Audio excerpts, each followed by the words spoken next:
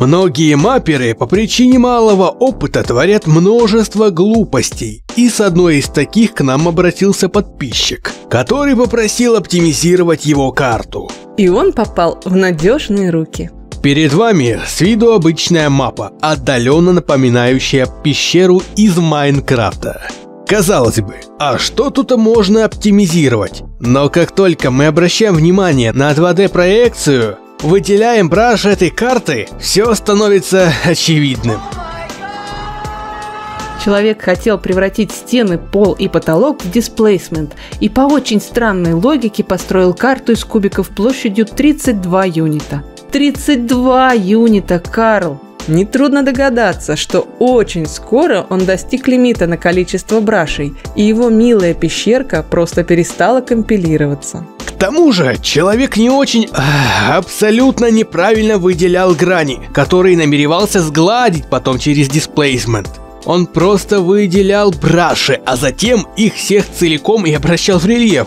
Оптимизировать данную карту, по сути, означало перестроить ее с нуля. Но я же извращенец, Давайте начнем рассуждать, как минимизировать количество брашей, не меняя при этом общую геометрию карты. Первым и самым очевидным приходит на ум нарезка карты линиями вместо кубов. Этот вариант подходит отлично, если на карте нет выступов или углублений. Ибо в таких местах мы в конечном счете станем наблюдать подобные артефакты. Поэтому данный способ подходит лишь частично, а конкретно для стен, где все более или менее равномерно и симметрично. Симметрия – это основа работы с дисплейсментом. Давайте отдельно рассмотрим вот такой случай.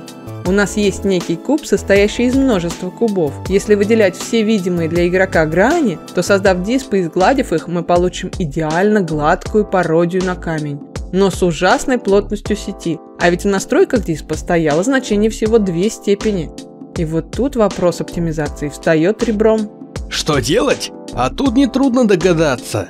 Создать тот же куб из кубов размером больше, ну хотя бы 64 юнита. Мы уменьшим количество брашей, а плотность сетки выставим на 3 и получаем точно такую же сеть, но уже экономия брашворк. Э, displacement. На самом деле это нужно далеко не всегда. В угоду оптимизации можно использовать плотность сети и минимальную. Визуальная составляющая не особо будет отличима, а иногда даже красивее, чем вот это. А теперь приготовьте содержимое своих голов. Представим себе рядом диспы из 32 и 64 юнитов. Сеть у них, как видите, разная. Чем это грозит? А тем, что при рисовании рельефа между такими диспами будут появляться швы, которые можно и нужно сшивать через команду Save. Но бывают случаи, когда даже она не поможет. Соу работает только в том случае, если два диспа разного размера соприкасаются друг с другом двумя краями. Здесь и здесь. То есть, только если размер диспов будет один к одному или один к двум. Все, в другом случае избавиться от шва не получится. Поэтому и было сказано, симметрия в диспах – это основа. Все очень просто, ну! А теперь минутка артефактов. Команда Subdive не работает адекватно в отличие от SOV. Даже если настроить им одинаковую сеть, результат будет плачевным. Его, конечно, можно попробовать улучшить, выправляя больные грани, но оно вам надо? Как было уже сказано, метод полос подходит только при наличии симметрии. Если на карте есть углубление, придется разрезать всю стену на части, дабы ее сохранить. Дикое извращение ради упрощения жизни.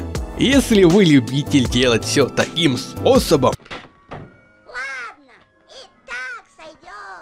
то можно разбить диспы на группы. Допустим, у нас есть такая пещерка и вокруг нее стены. Чтобы не резать лишний брашворк, мы отдельно сначала сглаживаем пещеру, а затем соседние браши. После чего вытягиваем их края так, чтобы имитировать округленность. Костыли, да-да, ну а что тут поделать? Именно этот костыль и пригодится в нашей карте. Чтобы не делать пол и потолок из полос, ставим кубы и уже потом отдельно сглаживаем их от стен мапы. Таким нехитрым способом мы уменьшаем размеры BSP минимум в 4 раза, а лимиты по диспам и брошворку уходят в прошлое. Все!